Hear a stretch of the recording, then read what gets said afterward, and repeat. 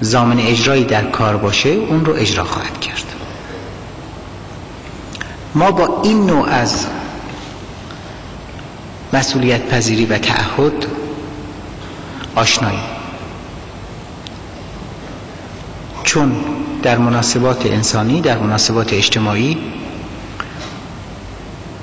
خب همین برقرار دیگه.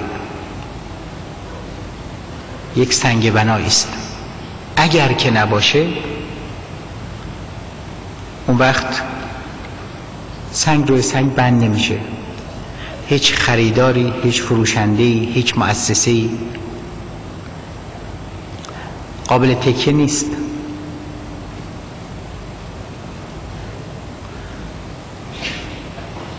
این یک نوعشه نوع دیگرش در جوامع بشری.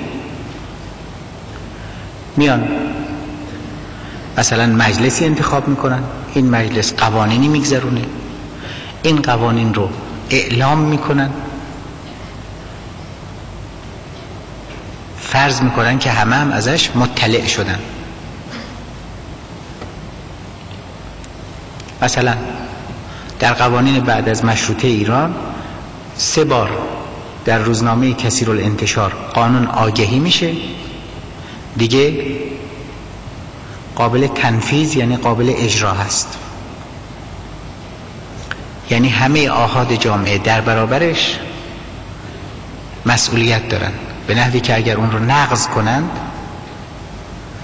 اون جرم محسوب میشه می‌برن به محکمه و اون کار اون فعل ازش حسابرسی میشه. از اونجایی که جرم هم باید تعریف شده باشه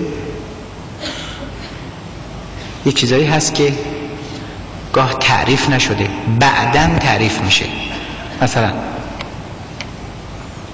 در سال 49 که هنوز هواپیما ربایی جرم مشخصی نبود. یعنی تعریف قانونی پیدا نکرده بود ماده قانونی نداشت. نمیشه جرم محسوبش کرد. با وجودی که ما در دادستانی ارتش محاکمه می شدیم در سال پنجاه استناد اون این بود که آقا شما نمی‌تونین جرم محسوب کنی تو قانون خودت هم تعریف نشده. یعنی یقه دادستان رو گرفته بودیم. عاقبت همون مجبور شد که عقب بشینه. بعدا در زمان شاه همین جرم شناخته شد. به حال این هم یک نوع دیگری از مسئولیت پذیری و مسئولیت خواهی و خلاصه اصل پاسخگویی است در جوامع بشر. قانون رو میگذرونن یکی دو بار آگهی می‌کنن و بعد این دیگه فیز میشه. اگه این اصل رو برداریم خب زیرا به همه چیز زده میشه. حتی در مکاتبی که انسان رو مسئول نمی‌شناسند مثلا در ماتریالیزم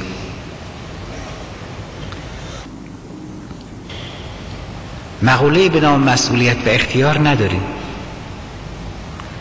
حتی در بیان خیلی نرم و ملایم و تجدید نظر طلبانش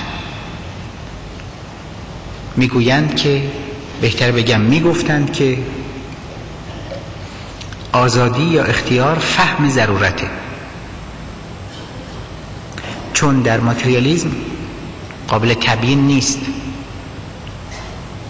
که انسان موجودی باشه مختار یعنی آزاد. و بنابراین مسئول. در ماتریالیزم می باید انسان تعریف بشه با پایه مادیش. پایه مادیش چیه؟ مغز.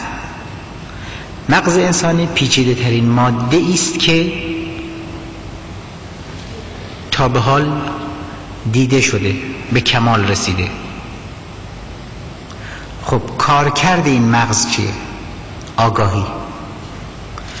پس انسان چه موجود است انسان موجودی است آگاه اندیشمند هوشمند.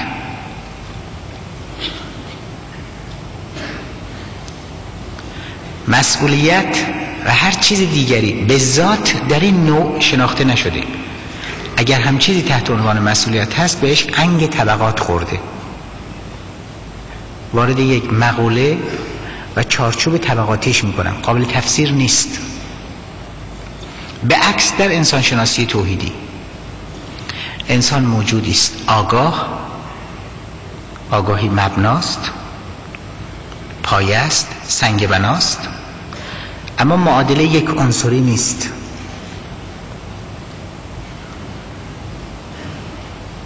بلکه به صورت یک معادله درجه دو هست. یعنی مبنا. آگاهی؟ مبنای لازم اما شرط کافی انسانیت همون اختیار و مسئولیت پذیری اونه اختیار یعنی آزادی انتخاب. موجودی است انتخابگر. می‌تونه بین دو راه یکیش رو انتخاب کنه. حالا با چه مکانیزم های عجیب و غریبه. پیچیده ای این دیگه انسانه. اما حتی در جوامعی که تحت سلطه فلسفه ماتریالیستی بودند. حتی در احزاب مارکسیستی لنینیستی بالفعل و ناگزیر